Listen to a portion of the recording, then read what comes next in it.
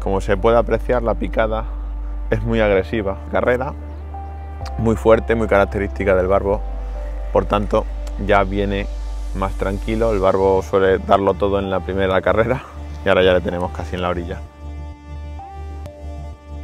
Esto es un barbo de España, fuerte, sano. Este es pequeño, esperemos cogerlo más grande y disfrutar hoy toda la tarde.